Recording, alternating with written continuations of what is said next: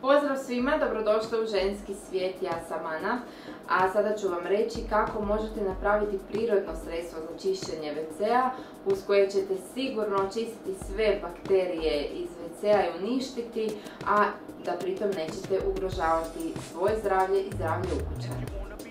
Pomiješajte 250 ml destilirane vode, limonsku kiselinu, 50 g boraksa i 50 ml alkoholnog octa. Sve te sastojke dobro promiješajte, ulite u bocu sa rasprašivačem pa prije uporabe protresite. Sredstvom za čišćenje WC-a koje ste napravili, pošpricajte WC, stavite da djeluje 20 do 25 minuta, pa nakon toga WC dobro iščepite.